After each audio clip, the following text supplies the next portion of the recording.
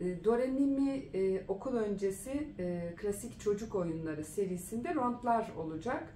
Bu rondları, eski rondları, klasik çocuk oyunları olarak e, oynanan, öğretilen rondları size burada e, şarkılarıyla, bazen e, oyunlarıyla beraber e, yayınlıyor olacağız. Şimdi annemlerin döneminde aslında bize de oynattıkları vaktiyle benim de oynadığım bir rond var. Miço. E, bu oyunda arkada dizilebilir e, çocuklar veya yuvarlak daire olabilirler. Bir tane oyun kurucumuz var. Soruları o soruyor. Bir tane ona cevap verenimiz var. Bir de ritim tutan diğer çocuklar var. E, sırasıyla bu oyunu tekrar tekrar ortadaki çocukları değiştirerek oynamak mümkün. Başlayalım mı? Başlayalım. Tamam. Birçok nereden geliyor? Evet, tam kopya çekeyim diyecektim. Annem söyledi. Kopyayı verdim. Miço nereden geliyorsun? Harmanlıktan aşağı.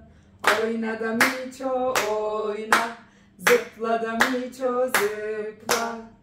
Miço saçların nerede? Şapkamın altında.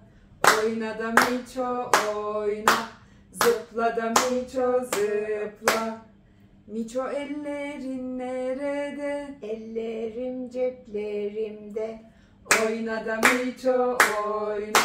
Zıpla da Miço zıpla. Miço gözlerin nerede? Fıldır fıldır yerlerde. Oyna da Miço oyna. Zıpla da Miço zıpla. Oyna da Miço oyna. Zıpla da Miço zıpla.